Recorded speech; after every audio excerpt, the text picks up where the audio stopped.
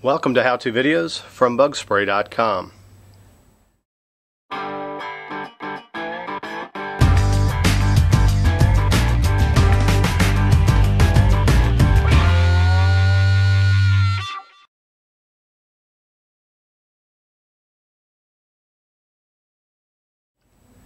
Today I have the opportunity to introduce you to one of my favorite products, Surflan AS Specialty Herbicide. I've been using this product in my own lawn for probably 19 years.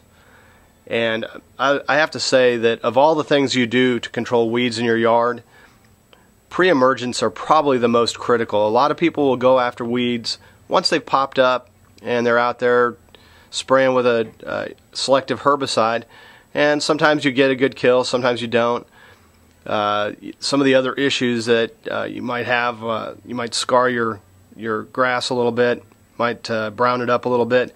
But with a pre-emergent, you're taking care of the weed prior to the weed ever showing up. So let's say your neighbor never maintains their lawn and they got dandelions all over it. As those dandelions blow seed across the area, or if a bird or an animal carries them in, they're going to land in your lawn. No matter how much work you do on your lawn, ultimately you're going to get some seeds in there. And you know, you might have a, a year where you've cleaned up all the weeds using post-emergent products, and then the following year, all of a sudden, you've got weeds again. Well, the way you stop that is with a product like Surflan, and, and really, of the herbicides, Surflan is probably the most complete pre-emergent.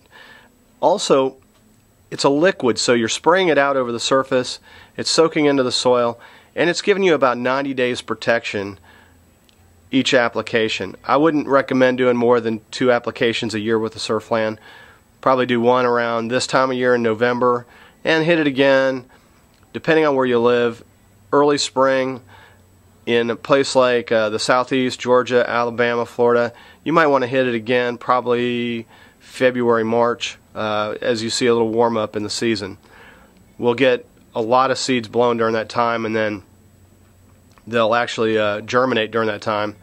And even though you don't see the weed for a month or two later, they've actually already started establishing themselves in the soil. So you want to get this stuff out a couple times a year, generally in the fall and early spring. And I just wanted to show you, we have this in a half pint, an 8 ounce bottle. We've got it in a quart bottle, a gallon bottle, and also in the ready to use formulation uh, it's for maybe a small lawn where you don't have a lot to cover with the one that says weed impede you're going to get about 1250 square feet but it's complete. All you got to do is hook it to your hose and spray it out. With the small Surflan you're going to get 5000 square feet. With the quart you get four times that so that's 20,000 square feet. And uh, two acres with the large gallon. So if you're looking for economies of scale, the large gallon size would probably be your best bet. If you have a small lot and you just want to stay on top of it, then maybe one of the smaller sizes would be more suited for you. Also keep in mind that this isn't just for use over grass. This is also great in your bedding plants. It's a selective product, so it's not going to harm ornamentals. It's not going to harm your established grass. One thing I will say, do not put this out if you're about to seed with fescue or any other type of seeded grass because it's selective, but it's not that selective. It will stop those seeds from germinating. Thank you for watching this how-to video from bugspray.com.